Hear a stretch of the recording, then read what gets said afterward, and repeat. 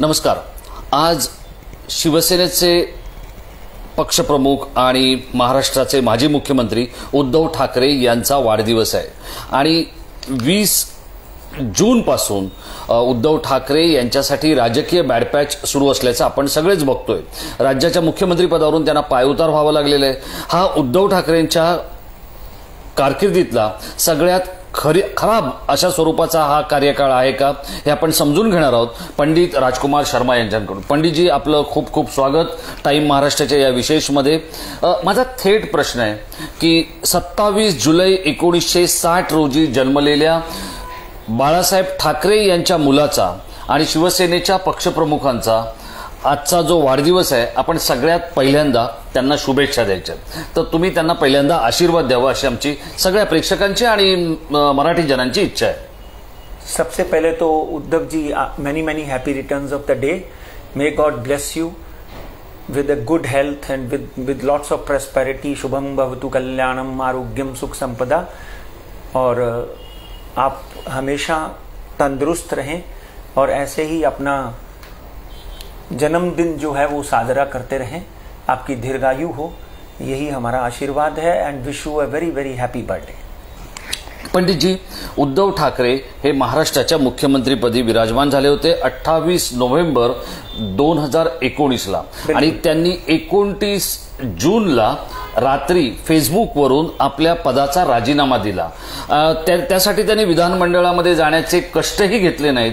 इतकं त्यांच्या जिव्हारी हे बंड लागलेलं होतं. आतापर्यंत शिवसेना पाच वेळा मोठ्या स्वरूपात फुटली आहे. पण त्या प्रत्येक फुटीनंतर किंवा त्या प्रत्येक दुभंगण्यानंतर किंवा वेगळं होण्यानंतर शिवसेनेला खूप मोठ्या कसोटीचा काळ सामोरा जावा लागलेला आहे. आत्ता सध्या जे असलेले दिवस आहेत किंवा सध्या असलेला जो काळ आहे हा उद्धव ठाकरेंसाठी सगळ्यात कसोटीचा काळ आहे असं तुम्हाला वाटतं का? देखिए 19 में चीफ मिनिस्टर महाराष्ट्र के उद्धव बालासाहब ठाकरे थे। और जो आपने बोला कि उन्होंने शपथ विधि ली 28 ग्यारह 2019 को, शाम को छह बजकर त्रेचालीस मिनट में धनु राशि में उन्होंने शपथ विधि ली और उस वक्त राशि के हिसाब से उनकी, उस दिन की अगर हम कुंडली बनाते हैं तो शुक्र की महादशा तभी चल रही थी। और सबसे बड़ी बात यह है, शुक्र उनका धनु राशि में केतु और गुरु और चंद्रमा के साथ में विराजमान है। यानी उस दिन की शपथ विधि की, कुंडली की बात कर रहा हूँ मैं। तो इसलिए वो जो काल होता है, वो दो साल, चार महीने और आठ दिन, उसका एक पर्टिकुलर अवधि होती है, जिस अवधि में वो आदमी जो है राइज करता है और शुक्र की वजह से उसके साथ में गुरु बैठा हुआ है, क्योंकि शुक्र, राहु, केतु और शनि जो है ये दैत्य ग्रह हैं और गुरु, मंगल, चंद्रमा और सूर्य जो है वो देव ग्रह हैं। तो जब देव ग्रह दैत्य ग्रहों के साथ में बैठे होते हैं तो डेफिनेटली आदमी की बुद्धि जो है, वो कहीं ना कहीं इस बात का आभास नहीं हो, करती कि मेरे से कोई गलती हुई है या मैं मैं कोई गलती कर रहा हूँ। उसको तब महसूस होता है जब आदमी को कोई ना कोई बहुत बड़ा झटका लगता है। अब उनकी कुंडली में भी उनके चौथे घर में उद्धव जी की कुंडली का जब हम अध्ययन करते हैं 27 जुलाई 1960 दस बजकर चौदह मिनट सिंह राशि में उनका जन्म हुआ है।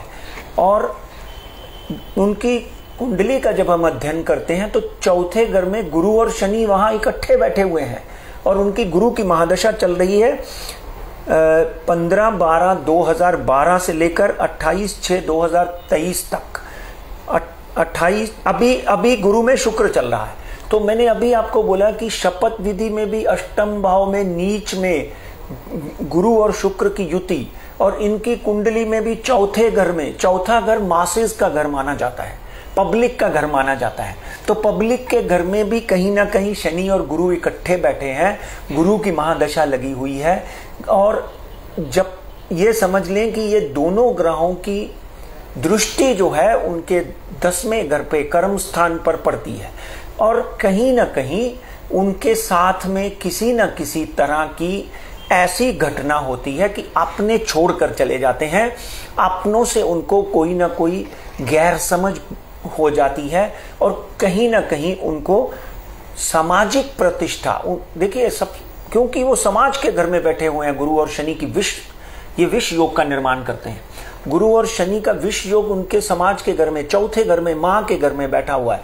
तो कहीं ना कहीं वहाँ से जब वो करियर के घर में को देखता है, वो युति देखती है तो कहीं ना कहीं सामाजिक प्रतिष्ठा, मानसिक तनाव और अपनों से उनको कहीं ना कहीं गैर समझ उनकी होती है, जिसके कारण मैं तो ये बोलूँगा कि जिसके कारण ये घटना भी हुई। गुरु इस वक्त पण पण पंडितजी मला सांगा त्यांना दोन हजार बारा पासून गुरुची महादशा लागलेली होती. बरोबर आहे? आणि त्यांनी जी शपथविधी जो त्यांनी घेतला नोव्हेंबर दोन हजार एकोणीसमध्ये तर तो शपथविधीचा मुहूर्त चुकला म्हणून असं सगळं झालं?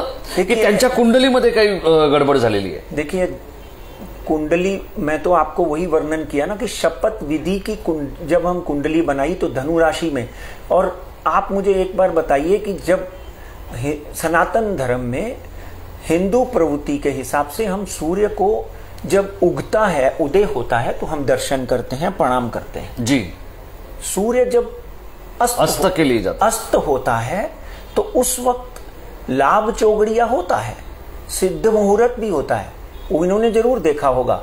मगर सनातन पद्धति के हिसाब से, मुहूर्त पद्धति के हिसाब में, मुहूर्त का के भी बहुत बड़े बड़े ग्रंथ हैं। उस पद्धति के हिसाब से शाम का मुहूर्त जो है, उसको हम, हमारे सनातन धर्म में, ज्योतिष विज्ञान में, वैदिक शास्त्र में उसको अच्छा नहीं माना जाता, क्योंकि अस्त हुआ हुआ सूर्य आपकी प्रतिष्ठा, सामाजिक प्रतिष्ठा, आपका मान, सम्मान जो है, उसको भी अस्त कर सकता है। ये बात ध्यान से सुन लीजिए। इसलिए ये पण पंडितजी मला एक सांगा की आता एकनाथ शिंदे यांनी उठाव केला आणि पन्नास लोकांनी त्यांना पाठिंबा दिला ते मुख्यमंत्री झाले हे इथपर्यंत सगळं खरं आहे. पण मला तुम्हाला एक गोष्ट काय विचारायची आहे की एका माणसाच्या बाबतीत गैरसमज आपण समजू शकतो. एकनाथ शिंदे असेल किंवा अजून एखादा व्यक्ती असेल राज ठाकरे असेल नारायण राणे असेल असं एखाद दुसऱ्याचं एकाच वेळेला एका व्यक्तीच्या विरोधात पन्नास लोक उठतात. ते कुंडलीत काही बिघाड झाल्यामुळे झालंय? हंड्रेड परसेंट आपकी बात सही है। तो बिघाड काय झालाय? वही बिगाड़ के ऊपर मैं आपको एस्ट्रोलॉजिकल कैलकुलेशन करके वर्णन कर रहा हूँ। और राजेश जी एक बार ध्यान से सुन लीजिए। भाग्य जायते सर्वदाना पुरुषुम न कौशलम। भाग्य से जीवन में बड़ा कोई नहीं है। Destiny plays its own role rickshaw वाला चीफ मिनिस्टर बन जाता है और चाय वाला प्राइम मिनिस्टर बन सकता है। तो जब आपके भाग्य खराब होते हैं तो आपको याद होगा, नरसिम्हा राव को जेल जाना पड़ा था। 1978 में इंदिरा गांधी को जेल जाना पड़ा था। जब भाग्य आपका साथ नहीं देता है तो ये भाग्य इनका साथ नहीं दिया। 12 अप्रैल से और 28 अप्रैल से गुरु और शनि की प्लेसमेंट में बहुत बड़ा बदलाव आया। 12 हा, मी मी, अगदी तुम्ही योग्य मुद्द्यावर आलात. मला तू, आपल्या प्रेक्षकांना तेच सांगायचंय की उद्धव ठाकरे यांची कुंडली कधीपासून बिघडली? 12 अप्रैल और 28 अप्रैल से उनकी कुंडली में एक ऐसा गड़बड़ाहट योग आया, जिसको हम लोग कुंडली में विष योग का निर्माण भी कह सकते हैं। समझे ना? और अगर हम एकनाथ की कुंडली का साथ ही में अध्ययन करें तो 9 फरवरी 1964 धनु राशि धनु राशि के ऊपर भी साढ़े सती चल रही है। इसलिए उनको अभी तक सरकार बनाने में सफलता नहीं मिली है। दो लोगों की सरकार है, एक बात ध्यान रखिए। तो उद्धव जी ने एक गलती की थी कि तीन पार्टियों की सरकार बनी, महाविकास आघाड़ी बनी। इसमें कोई एनसीपी अच्छी है, कांग्रेस अच्छी है, वो सब नहीं, मैं उसमें नहीं जाऊँगा। यहाँ तक तो भाग्य की बात है तो मैं उसी के ऊपर जाऊँगा। नौ दो उन्नीस सौ चौसठ, पाँच बज के तीस मिनट सतारा में के एक छोटे से गाँव में एकनाथ का जन्म हुआ। आज के दिन राहु की महादशा, उद्धव जी की, कुरु की महादशा, इनकी राहु की महादशा चल रही है। राहु इतना प्रबल है, एकनाथ का एक बात ध्यान से सुनिए, कि राहु की महादशा में आप इस बात के साक्षी हैं। मनमोहन सिंह की कुंडली में राहु की महादशा 2002 में शुरू हुई। तो एकमात्र व्यक्ति, एकमात्र ज्योतिषी पंडित राजकुमार शर्मा थे, जो बोल रहे थे कि अटल बिहारी वाजपेयी का इंडिया शाइनिंग जो है वो धूल में मिल जाएगा। अगला प्रधानमंत्री मनमोहन सिंह हो सकता है और आप लोगों ने इसको छापा भी था। तो यहाँ पर एक नाथ की कुंडली का अध्ययन करते हैं तो राहु पराक्रम का घर है, ग्रह है। पराक्रम का ग्रह है। आदमी को ऐसा समझ लो, सोए हुए आदमी को एक चक्रवर्ती सम्राट बना देता है जब राहु की महादशा शुरू होती है। तो राहु की महादशा में एक नाथ शिंदे ने, अभी राहु की महादशा में एक नाथ शिंदे ने जो कदम उठाया है, उस कदम में उनको सफलता मिली है।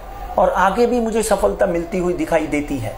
अब उद्धव जी की कुंडली का जब हम अध्ययन वापस करते हैं तो डेफिनेटली अभी बहुत से लोगों की ये चर्चा है कि कहीं ना कहीं उद्धव जी के और भी बहुत से कुछ लोग जा सकते हैं।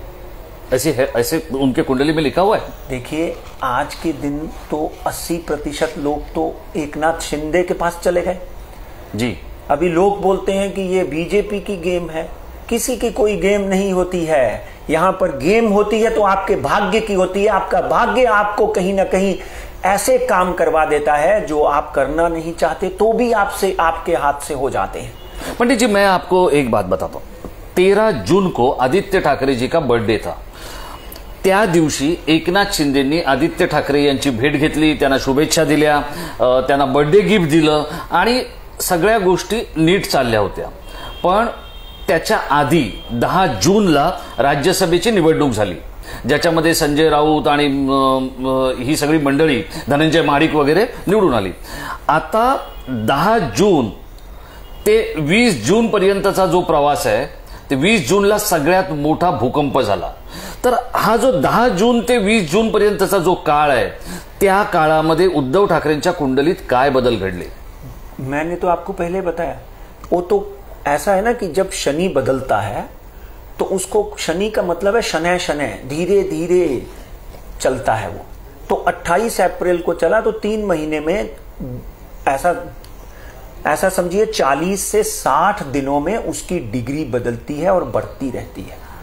पहले 10 दिन में एक डिग्री में आता है, उसके अगले 20 दिन में तीन डिग्री में आता है, उसके अगले एक महीने के अंदर अंदर पाँच डिग्री में आता है। जब वो 12 से 14 डिग्री में जवान हो जाता है तो वो प्रहार करता है।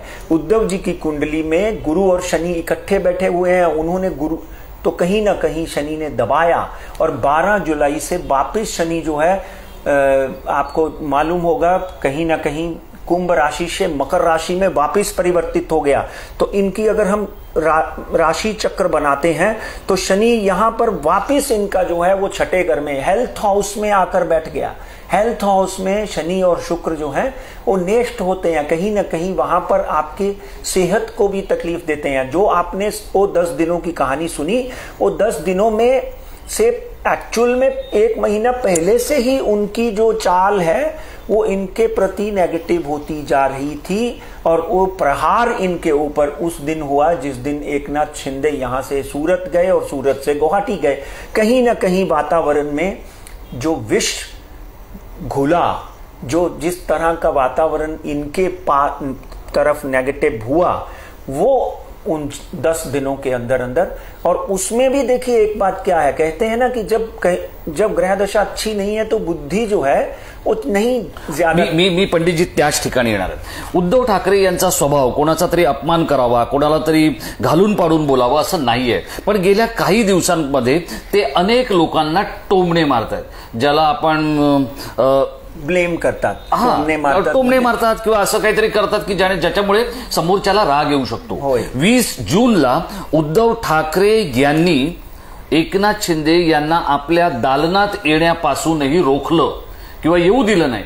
तर ह्या कुंडलीनुसार माणूस अशा काही चुका करत जातो की ज्याच्यामुळे समोरचा माणूस दुखावतो आणि काहीतरी बंड करायला उठतो उठाव करायला उठतो काहीतरी भांडण करतो? असं होऊ शकतं? डेफिनेटली 1977-78 में इंदिरा गांधी ने वही गलती की थी। और उनका जो गाय और बछड़ा का उनका जो चोन निशान था यानी जो सिंबल था वो फ्रीज हो गया था आपको याद होगा।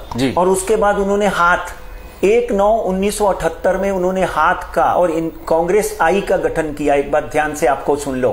तो गलतियाँ बड़े बड़े महारथियों से हो जाती हैं वही गलती इनसे हुई है। अपने लोगों को संभाल नहीं पाए और अपने लोगों को संभालने के लिए जो उस दिन वो क्या होता है भाई साहब कि जो आपके आजू बाजू वाले लोग होते हैं, वो चमचे चमाटे ज़्यादा होते हैं, वो आपको समझने ही नहीं देते कि क्या करना चाहिए। वो और आपसे और आपको भड़काते हैं और और गलतियाँ कराते हैं। उद्धव ठाकरे तो सिर्फ़ प्रांत में बैठे हैं। यहाँ तो राष्ट्र की सबसे बड़ी नेता इंदिरा गांधी थी अगर आपको याद है। उनको जेल जाना पड़ा इमरजेंसी जैसा धब्बा देश के ऊपर इंदिरा गांधी की वजह से लगा अगर आपको याद है तो। तो वो धब्बे के कारण उनको कांग्रेस को अगर आप 48 के 46 सीटें मिली थी उन दिनों। जी पंडितजी मला सांगा या कुंडलीप्रमाणे दोन गोष्टी माझ्या नजरेसमोर आहेत. आपल्या सगळ्यांचं उद्धव ठाकरेंवर प्रेम आहे. उद्धव ठाकरे महाराष्ट्राचे माजी मुख्यमंत्री आहेत. ते एक मराठी जनांचे नेतेही आहेत. शिवसेनेचे पक्षप्रमुख आहेत. मला तुम्हाला एक थेट प्रश्न त्यांच्या वाढदिवसाच्या निमित्तानं आपल्या प्रेक्षकांसाठी विचारायचा आहे. या कुंडलीनुसार उद्धव ठाकरे यांनी स्वतःच्या तब्येतीची काळजी घ्यायला हवी की शिवसेनेची काळजी घ्यायला हवी आपल्या प्रेक्षकांना सांगा. देखिए, सबसे पहले तो उद्धव जी का जो सौम्यपन है, मैं बाला साहब को हमेशा कहता था कि उनका जो सौम्यपन है, जो उनकी सादगी है, वो लोगों को आवड़ेगी, लोगों को पसंद आएगी। अभी एक नेता के अंदर वो एग्रेशन होता है, जो उनमें शायद कम होगा। मेरे खुद के बहुत ही फेवरेट हैं उद्धव जी, मैं आपको बाबा के मंदिर में बैठा हूँ, सबसे ही बोल रहा हूँ। मेरे खुद के बहुत फेवरेट हैं and I love a lot I wish you a birthday wish again. और यहाँ तक आपकी इस वक्त की कुंडली को अगर हम प्लेसमेंट को देखें सेलेस्टियल प्लैनेट की प्लेसमेंट उद्धव जी और शिवसेना वाले सारे मित्रों को मैं ये हाथ जोड़कर कहता हूँ नंबर वन अगर आप हेल्दी हैं तो आप कुछ भी कर सकते हैं। जी। अगर आपके पास पचास हज़ार करोड़ रुपया है और आप बीमार बिस्तर पे पड़े हैं तो उस पैसे की कोई वैल्यू नहीं। कोरोना काल के ढाई से तीन सालों में खरबोपति मल्टी मिलियनर ने इस बात का एहसास किया, पर मानव आदमी की एक आदत है कि वो बहुत जल्दी भूल जाता है। इसलिए सबसे पहले उद्धव जी को अपनी सेहत का ध्यान रखना चाहिए। 15 नवंबर 2022 तक उनको सबसे पहले अपने सारे टेस्ट हर तीन महीने में कराते रहना चाहिए। हर महीने और क्योंकि उन उनको हार्ट प्रॉब्लम हुई थी अगर हमारे दर्शकों को याद है हेल्थ के साथ साथ में उनको दूसरी सलाह राज, मैं राजनीतिक सलाह नहीं दे सकता हूँ। एक उनको कष्ट निवारण पूजा महापूजा करानी चाहिए। श्रावण शुरू है महारुद्र। रुद्राभिषेक भोलेनाथ का कराना चाहिए। ओम तिम्बकम यजा में सुगंधिम पुष्टिवर्धनम कमीब वंदना मृत्युर्मोक्षी मामृतात् ये मंत्र पढ़ने मात्र से, इस मंत्र को साधने मात्र से, आपके ऊपर से आप मृत्यु जैसी घटना भी टल सकती है, बीमारी टल सकती है, आपके अपने लोग आपको वापस आकर प्यार कर सकते हैं। मगर यहाँ पर अगले तीन महीने में और लोग भी ऐसे जा सकते हैं जो आपको हैरान कर देंगे, उद्धव जी। इसलिए यही एक समय है, इसका मंथन करिए। उन लोगों को पहचानिए जो आपके आजू बाजू में सिर्फ़ ड्रामा करते हैं और आपको समझाने की बजाय भड़काते हैं। ऐसा हो रहा है क्या कुंडली के साथ? ऐसा होता है त्यांच्या कुंडलीत? सगळे आप सबके सबके जीवन में ऐसा होता है। पण जी मला एक तुम्हाला विचारायचं आहे की आता अशी सारखी एक बातमी येत असते किंवा चर्चा होत असते. आता हा जाणार आहे तो शिंदेना भेटला तो अमित शहाना भेटला तो देवेंद्र फडणवीसांना भेटला. उद्धव ठाकरे यांचं जे नेतृत्व आहे हे आपण गेली काही वर्ष पाहतोय ते त्यांच्या कोर टीममुळे आहे. अनेक त्यांचे जे नेते आहेत ते निवडणुकीमध्ये पडतात हरतात पण तरी देखील उद्धव ठाकरे त्यांनाच घेऊन आपलं राजकारण करत असतात. मी आता इथे मुद्दाम कोणाचं नाव घेत नाहीये पण नारायण राणे असो राज ठाकरे असो किंवा इतर कोणतेही घटक उद्धव ठाकरेंच्या अंगावर येऊ शकतील असं वाटणाऱ्या अनेक घटकांना दूर करणारी काही उद्धव ठाकरेंची जवळची मंडळी आहे बरोबर आहे? ज्यांच्यामुळे त्यांचं राजकीय वज़न वाढलं ते मुख्यमंत्री पदापर्यंत पोहोचले. अशी काही मंडळी पण उद्धव ठाकरेंच्या संपर्क तोडून एकनाथ शिंदेकडे जातील असं बोललं जातंय. या कुंडलीप्रमाणे जवळची काही माणसं जातील असं वाटतंय? देखिए आणि ती कोण असतील? कुटुंबातली असतील की जवळची कोर टीम मधली असतील? जवल हाँ डेफिनेटली उनके नजदीकी लोग जो हैं उनमें से भी एक दो लोग ऐसे जा सकते हैं जो आपको आश्चर्यचकित कर देंगे कि ये आदमी तो सोचा नहीं था जाने का। आपने देखा होगा कि जैसे लोग जाने लगे रवि फाटक वहाँ पे गए सूरत में उसके बाद वो शिंदे के पास चले गए। हम्म. मिलिंद नार्वेकर बरोबर गेले होते? मिलिंद नार्वेकर उनके साथ आणायला गेले होते. तो किसी के ऊपर भी मैं तो इस क्योंकि जब ग्रह दशा खराब है तो उसमें फिर कोई भी हो सकता है और आपके नजदीकी लोग जो हैं आपके साथ बैठकर हो सकता है कि आप ही की बात को अग- दू- आ- आ- बाकी उधर पहुंचाते हो और आपको वो नुकसान करने की कोशिश करते हो। फेब्रवरी 2022 के दिन और अक्टूबर 2021 के टाइम जब मैंने ये भविष्यवाणी की थी कि ये सरकार गिरेगी, आपने बहुत से बहुत सी जगह पे बोला कि तंतो तंत खरी ठरली तो मेरा मेरी भविष्यवाणी अच्छी खरी, अच्छी निकले, सफल हो, उससे में मुझे कोई सुख नहीं मिलता। मुझे तो ये है कि बाला साहब के साथ मेरा प्रेम था, उन्होंने मुझे हमेशा रिस्पेक्ट की। और मैं तो ये चाहता हूँ कि शिवसेना का वापस उदय हो शिवसेना वापस महाराष्ट्र के लिए राष्ट्र के लिए अपना भगवा फहराए। जी. और आगे बढ़े। पंडितजी मी तुम्हाला एक आपल्या प्रेक्षकांना एक गोष्टीचा आठवण मला करून द्यायची आहे. एकोणतीस जूनला याच ठिकाणी बसून मी पंडितजींबरोबर या एक कार्यक्रम करत होतो आणि त्यात महाराष्ट्राचा मुख्यमंत्री कोण होणार याच्यावर या प्रश्नावर पंडितजी उत्तर देत होते. आपल्या प्रेक्षकांचा मी फार वेळ घेणार नाहीये कारण मला पुढच्या प्रश्नाकडे जायचंय. त्यावेळेला मी पंडितजींना असं विचारलं होतं की पंडितजी देवेंद्र फडणवीस मुख्यमंत्री होतील आणि एकनाथ शिंदे उपमुख्यमंत्री होतील असं बोललं जात आहे तुम्ही तर म्हणताय की एकनाथ शिंदेची कुंडली ही मुख्यमंत्री पदासाठी योग्य आणि लायक आहे. तर मग जर आता ते उपमुख्यमंत्री झाले तर आजपर्यंत महाराष्ट्राचा कोणताही उपमुख्यमंत्री मुख्यमंत्री झालेला नाहीये. त्यावेळेला पंडित राजकुमार शर्मा असं म्हणाले होते की अजून वेळ संपलेला नाहीये. तुम्ही थोडं थांबा आणि बघा काय होतंय ते. आणि आपल्या सगळ्यांना माहिती आहे राजभवनमध्ये पत्रकार परिषदेमध्ये पत्रकार परिषद सुरू असतानाच देवेंद्र फडणवीस फडणवीसांनी तो सगळ्यात मोठा राजकीय बॉम्ब टाकला होता आणि मुख्यमंत्री एकनाथ शिंदे होतील असं म्हटलं होतं. पंडितजी माझा आता सगळ्यात महत्त्वाचा प्रश्न शिवसेनेमध्ये आजपर्यंतच्या छप्पन्न वर्षाच्या इतिहासातली उभी फूट पडली आहे शिवसेनेतून गेलेले किंवा बाजूला झालेले दुरावलेले शिंदे गटातले लोक आणि उद्धव ठाकरे यांचं मनोमिलन होईल असं तुम्हाला वाटतंय का? देखिए कारण भुजबळ गेले परत आले. राणेंच्या हॉस्पिटलसाठी उद्धव ठाकरेंनी सही केली मुख्यमंत्री म्हणून. त्यांचं हॉस्पिटल उभं राहिलं. त्यामुळे राजकारणामध्ये कोणी कायमस्वरूपी शत्रू नसतो आणि कायमस्वरूपी मित्र नसतो नस्तो. जब लालू प्रसाद नीतीश कुमार के साथ सरकार बना सकते हैं तो डेफिनेटली अगर जीवन में कभी बाला साहब होते या ना होते। कभी ये विचार किसी शिवसेना के सैनिक के मन में नहीं आया था कि शिवसेना कभी कांग्रेस और एनसीपी के साथ सरकार बनाएगी, मगर बनाई, क्योंकि भाग्य अपना काम करता है। आपको मैं यहाँ पर एक बात बताना चाहता हूँ कि 28 11 2019 को शपथ विधि हुई और 28 10 2019 के एक कार्यक्रम में मैंने ये बोला था कि एकनाथ शिंदे आगे जाकर 2022 2024 में मुख्यमंत्री बनेंगे। उस वीडियो के ऊपर हज़ारों लोगों ने, करोड़ों, लाखों लोगों ने टिक किया। तो आपके माध्यम से भी मैंने जब ये बोला कि ये अभी तक कुछ भी हो सकता है तो एक एकनाथ हाँ और आगे आने वाले दिनों में अल्टा पलटी भी हो सकती है। मुख्यमंत्री उप मुख्यमंत्री हो सकता है उप मुख्यमंत्री मुख्यमंत्री हो सकता है नवंबर तक। एक बात ध्यान रखिए, ये बहुत बड़ी भविष्यवाणी मैं आपके सामने करना चाहता हूँ। मगर अब उद्धव जी की बात करें तो नवंबर तक उनको कहते हैं ना कि समझ समझ कर पौल उछलना चाहिए। ध्यान से हर चीज़ को समझना चाहिए। किसी भी तरह से कठोर वचन या किसी भी तरह से जो शिवसेना के ओरिजिनल जो शिव सैनिक स्टाइल है, उसमें नहीं, अपने अपना अपना विचार, अपना चरित्र जो उनका है, सौम्य, सुंदर, साफ़ साफ़, उसी तरह रखना चाहिए। और कहीं ना कहीं आगे आने वाले दिनों में नवंबर तक मैं बहुत सी चीज़ें ऐसी देखता हूँ जो आपने भी नहीं सोची है और ये कुंडली बोलती है जो बोलने के लिए भी मेरे मेरे, मेरा साहस नहीं हो रहा। इसलिए 28 नवंबर तक कुछ भी पॉसिबल है। उ- भुजबल के साथ जो लोग गए, उनमें से 80 परसेंट लोग वापस आ गए। आपने जो प्रश्न किया, उसका उत्तर दे रहा हूँ मैं। राणे साहब के साथ में जो लोग गए, वहाँ वहाँ से भी आठ से दस लोग वापस आ गए।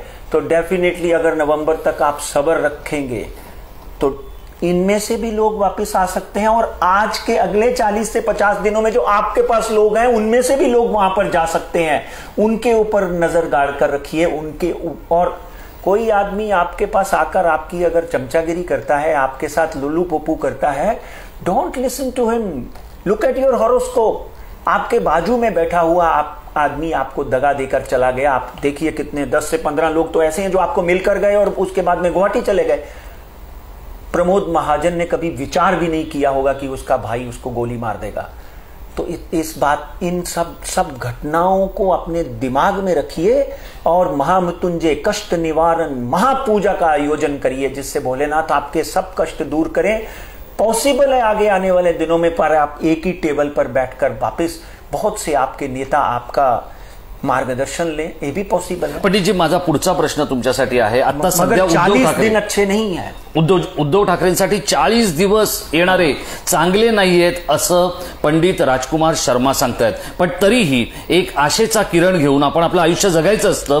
मग ते आपलं असू द्या किंवा उद्धव ठाकरेंचं असू द्या सगळ्यांनी प्रयत्न करायचे असतात. पंडितजी माझा पुढचा प्रश्न असा आहे की येणाऱ्या काळामध्ये उद्धव ठाकरेंसाठी आदित्य ठाकरे हा एक आशेचा किरण आहे. पण त्याचबरोबर त्यांचा सख्खा भाऊ राज ठाकरे हा येणाऱ्या काळामध्ये त्यांच्या जवळ येईल असं तुम्हाला वाटतं का? आणि ह्या सगळ्या गोष्टी एक तारखेला जी सर्वोच्च न्यायालयामध्ये जी केस आहे किंवा जो खटला चालू आहे त्याच्यावर बऱ्याच गोष्टी अवलंबून आहेत. मला तुम्हाला विचारायचं आहे की त्याच्या आधी राज आणि उद्धव हे भविष्यात एकत्र येतील का? आणि सर्वोच्च न्यायालयामध्ये या शिंदे सरकारचं आणि उद्धव ठाकरेंचं काय होणार?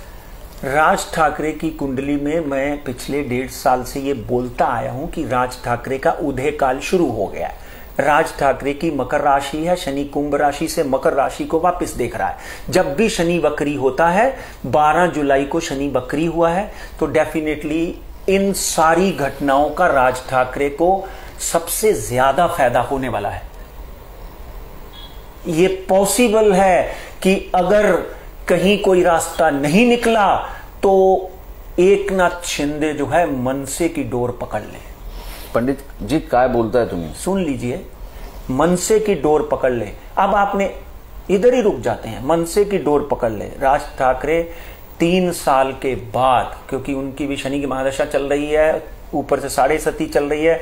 पिछले दस सालों में राज ठाकरे के साथ क्या क्या हुआ आपको भी पता है। तेरह विधायक से एक रह गया। छह कारपोरेटर से दो रह गए। अपनी तबीयत खराब हुई अपनी कमर का ऑपरेशन हुआ। उनकी धर्मपत्नी के ऊपर भी एक छोटा सा एक्सीडेंट हुआ। और अब हाँ अब उनके ऊपर खुशियों की बौछार हो रही बौछार हो रही है। उनको पोता हुआ। उन्होंने अपने घर घर का परिवर्तन किया। वो वास्तु बहुत सुंदर है। और राज ठाकरे आप देखेंगे अगले एक साल के अंदर अंदर एक नया ठाकरे का स्वरूप। वैसे भी लोग उनमें बाला साहब को देखते हैं। वह एक नए स्वरूप में अपना कीर्तिमान स्थापित करेंगे। और आपके शो के माध्यम से मैंने एक भविष्यवाणी की थी की हिंदुत्वाच्या बालासाहेबांच्या वारीस आपणच बोलले होते काय बोलले होते जरा लोकांना सांगा. नाही पण पंडितजी मला एक सांगा. तुम्ही असं म्हणाला होतात की बाळासाहेबांच्या हिंदुत्वाचा वारसा राज ठाकरे पुढे नेतील. हे मला खरं वाटतंय. पण पण मी तुम्हाला थांबवणार आहे. नाही मग त्याच्या आधी आदित्यच्या. आधी आदित्यच्या आधी मला एक गोष्ट समजून घ्यायची आहे. तुम्ही एका बाजूला असं म्हणताय की राज ठाकरेंचा उदयकाळ सुरू होणार आहे. दुसऱ्या बाजूला तुम्ही सुरू झालं आता. सुरू झाला. दुसऱ्या बाजूला तुम्ही असं म्हणताय की उद्धव ठाकरेंसाठी काळ खराब आहे पण ते पक्ष वाचवतील किंवा ते याच्यातून बाहेर पडतील? असंही तुम्ही म्हणताय. मी आतापर्यंत सांगितलं नाही की ते पक्ष वाचवती तनी डेफिनेटली नवंबर तक उनके ऊपर अच्छे अच्छे दिन नहीं है. शिवसेना डूबने वाली नहीं है. शिवसेना शिवसेना ही रहने वाली है. मगर उसके सामने जब एक पहाड़ खड़ा हो जाता है तो वापिस उबरने के लिए सालों लग जाते हैं.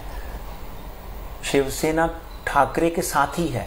और एकनाथ हो या दीपक केसरकर हो, किसी ने भी ये नहीं बोला कि हम बाला साहब के शिष्य नहीं हैं। किसी ने भी ये नहीं बोला कि हम शिव सैनिक नहीं हैं। भगवा फड़का, आज भी हमा- हमारी जान है, भगवे में लिपट कर मरना हमारे जीवन का उद्देश्य है। किसी ने नहीं बोला अभी तक कि हम नहीं हैं। शिव सैनिक ही है ना वो लोग। तो शिवसेना कहाँ मरी? अगर वो लोग चालीस लोग पचास लोग आपके बोल रहे हैं तो कभी आ, आज के दिन सोच समझ नवंबर तक पकड़कर अगर उद्धव जी चलेंगे तो डेफिनेटली किसी भी तरह की कोई चिंता की बात ही नहीं है। ये लोग तो आज भी बोल रहे हैं ना की बालासाहेब हमारे देवत उद्धवजी उद्धवजींवर आता आपण बोलतोय हे खरं जरी असलं पंडितजी तुम्ही आदित्य ठाकरेंवर बोलणार आहात. मला माहिती आहे पण आता आपली वेळही पूर्ण होते. त्याआधी मला एक गोष्ट तुम्हाला विचारायची आहे. उद्धव ठाकरे यांनी आज त्यांच्या वाढदिवसाच्या दिवशी बघा तुम तुम्ही अमित शहाना भेटता तुम्ही राहुल गांधींना भेटता तुम्ही महाराष्ट्रातल्या अनेक नेत्यांना भेटता उद्योगपतींना भेटता ते तुमच्याकडून कुंडली आणि सगळ्या गोष्टी समजून घेतात. शेवटची काही मिनिटं शिल्लक राहिली तर मला काय तुम्हाला खरं काय खरं असता मी मु- तोंडावर सांगतो. त्यामुळे माझ्याकडे जास्ती पैसे नाही आणि मी श्रीमंत नाही. प्रसिद्ध आहे पण मी श्रीमंत नाही. देवा देव मला काय सांगतात आणि कुंडलीमध्ये माझे चारशे वर्षाचे माझे वडिलांनी काय लिहिलं दादानी का ना- का- काकानी काय लिहिलं आणि कुंडलीमध्ये काय असतं? ग्रहदशा नऊ ग्रह बारा राशी सत्तावीस नक्षत्र नक्षत्र. काय म्हणतात ते मी तोंडावर सांगतो. म्हणून मला तुम्हाला विचारायचं आहे उद्धव ठाकरेंना सगळ्यात जास्त कोणापासून सांभाळून राहायचंय? त्यांच्या अवतीभोवतीच्या चेलेच्या पाट्यांपासून त्यांच्या राजकीय पक्षातल्या कार्यकर्त्यांपासून किंवा त्यांच्या कुटुंबातल्या सदस्यांपासून की त्यांना मदत करणाऱ्या त्यांच्या कर्मचाऱ्यांकडून किंवा सहाय्यकांकडून की देवेंद्र फडणवीसांच्या भाजपकडून की एकनाथ शिंदेच्या बंडखोरांकडून? तुम्ही काय सांगाल? संक्षिप्त स्वरूपात. सबसे पहले तो उद्धव जी, आपको एक बात की बधाई देता हूँ कि जो परसों औरंगाबाद आदित्य गए, उनको जिस तरह से लोगों ने प्रतिसाद दिया, प्रेम क- किया, उससे ये साफ़ नज़र आता है कि आपके जितने भी कार्यकर्ता हैं, वो आज भी बाल ठाकरे और उद्धव ठाकरे को ही अपना देवत मानते हैं। और उन्होंने आदित्य ठाकरे को सिर पे उठा लिया। आपके आजू बाजू में जो लोग हैं, आपके कार्यकर्ता आज भी आपके साथ हैं। हज़ारों, लाखों की तादाद में जो आप परसों शाखा में उद्घाटन करके आए, उसमें भी मैंने पूरा वीडियो देखा। तो कहीं ना कहीं लोग आज भी शिवसेना और आपके साथ जुड़े हुए हैं। जो गलतियाँ हुई हैं, उनको दूर करें। महामृत्युंजय मृत्यु संजीवनी और कष्ट निवारण की एक महापूजा करें, ताकि आपका स्वास्थ्य भी अच्छा रहे और शिवसेना भी बची रहे। कहीं ना कहीं यहाँ पर पॉसिबिलिटी हो सकती है कि नवंबर तक आपको काफी समस्याओं का समा- सामना करना पड़ सकता है। पंडितजी या सगळ्या अडचणीच्या दिवसांमध्ये रश्मी ठाकरे आणि आदित्य ठाकरे यांच्यावर उद्धव ठाकरेंचा सगळ्यात जास्त भरोसा असणार आहे आणि त्यांच्यावरच ते अवलंबून असणार आहे. आदित्य ठाकरे हे आपल्या वडिलांना किती काळ साथ सोबत करू शकतील ताकदीने आणि धैर्याने असं तुम्हाला वाटतं? त्यांच्या कुंडलीत. कारण मुलांच्या पराक्रमाबद्दल किंवा मुलांच्या शिक्षणाबद्दल मुलांच्या गोष्टीबद्दल देखील त्या व्यक्तीच्या कुंडलीमध्ये आपल्याला काही गोष्टी समजू शकतात असं तुम्ही सगळी ज्योतिषी मंडळीच म्हणत असता. काय सांगते कुंडली? तीन साल के अंदर एक बात पॉसिबल है जो मैंने आपने मुझे एक सवाल बीच में किया था कि तीन साल के बाद राज ठाकरे और शिवसेना एक हो सकते हैं। एक। दूसरी बात यह है दो हाँ 2035 तक गुरु की महादशा आदित्य ठाकरे के ऊपर लगी है। मैंने अपने एक बहुत बड़े कार्यक्रम में ये बोला था कि आदित्य ठाकरे 2035 तक महाराष्ट्र के मुख्यमंत्री हो सकते हैं। और यहाँ तक तो आज तक ठाकरे फैमिली ने सिर्फ़ अपना रिमोट कंट्रोल चलाया था। उद्धव जी ने पहली बार ये साहस किया और मुख्यमंत्री बन गए। और राज ठाकरे भी कल को अगर आगे आते हैं तो राज ठाकरे के मन में मुझे नहीं लगता कभी मुख्यमंत्री बनने की चाहत होगी। वो एक रिमोट कंट्रोल की तरह ही आगे लोगों को आप, अपने लोगों को आगे बढ़ाएँगे। यहाँ तक बात करें पहली बंडखोरी की ये बंडखोरी जो है वर्टिकल हुई है आपने जो बोला। इस बंडखोरी से बचकर रहना पड़ेगा इस बंडखोरी के उपाय सोचने पड़ेंगे। जब आदमी को बीमारी होती है तो उसके सोल्यूशन ढूँढने चाहिए। ना कि लग, अपनी भाषा का दुरुपयोग करना चाहिए या आपके जो प्रवक्ता है उनकी भाषा को अलाउ करना चाहिए कि किसी भी तरह की। क्योंकि आज तक तो वो पचास लोग तो यही कह रहे हैं कि हमारी शिवसेना हम शिवसैनिक। इसलिए समय अनुकूल ना हो तो शांति से बैठिए। पेट खराब हो तो व्रत रखिए।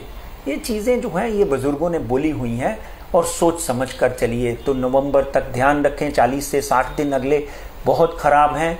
किसी भी तरह का भूकंप आ सकता है, किसी भी तरह का शिवसेना को और नुकसान हो सकता है। नमस्कार.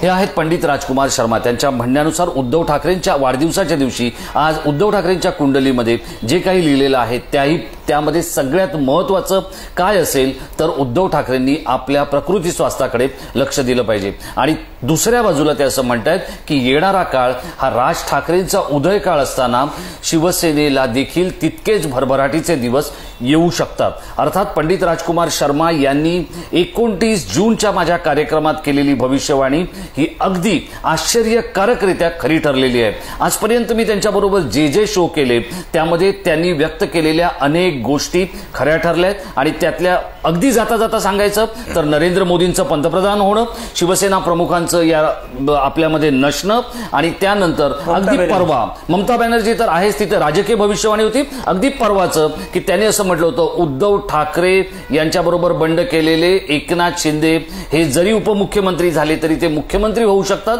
किंवा आश्चर्यकारक काहीतरी होऊ शकतं. आणि नेमकं तेच झालं. पंडितजी तुमची भविष्यवाणी आणि तुमच्यावर देवाधिकांचा असलेला आशीर्वाद असाच कायम राहू दे आणि तुमचं वेळोवेळी महाराष्ट्रातील जनतेला मार्गदर्शन मिळू दे धन्यवाद.